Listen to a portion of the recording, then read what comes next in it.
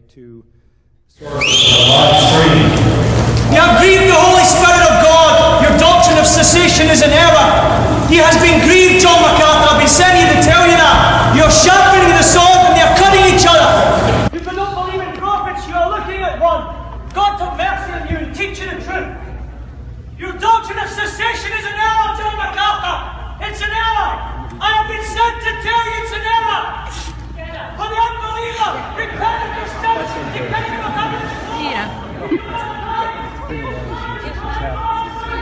Oh, yes. sort of, it sort of takes the edge off my section of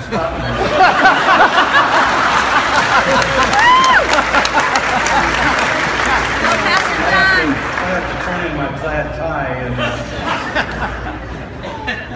and what he was saying, you heard what I'm saying, but what he was trying to say was that to say that uh, spiritual gifts and tongues and prophecies and prophets and all of that have ceased is uh, heresy, and that the doctrine of cessation is wrong, and that he is a prophet.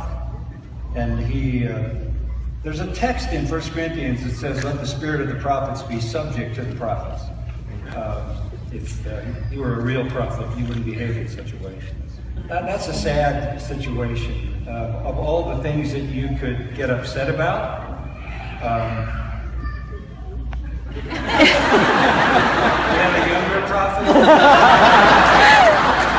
okay, I'm going back on vacation.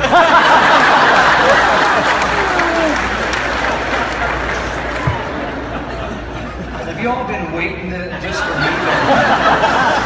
Did you bring him something? Anyway, as I was saying, you know, I wondered when he was coming this way if he thought this was time for him to sing a solo. By the way, our, our security people will uh, will handle him very kindly and graciously. Uh, that, that has happened before, but it's it's been a while, so, which is good news. Um, as I was saying, uh, it's really wonderful to be back at Grace Church. I, I think it's a divine experience.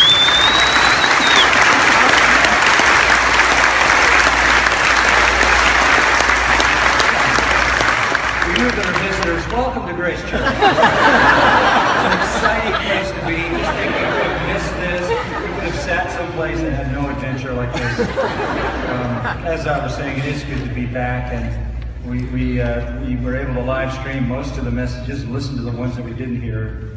And you were so you were so greatly served by the instruction of the Word of God that came to you through uh, those who stood in this pulpit. I'm very grateful for that.